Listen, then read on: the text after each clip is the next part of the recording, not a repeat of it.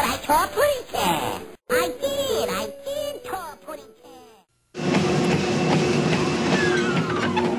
Sullivan after he clocked 218.35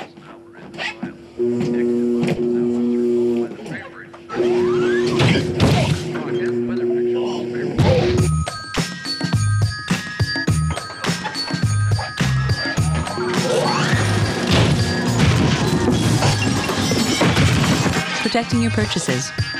That's using your credit card wisely. I thought I pudding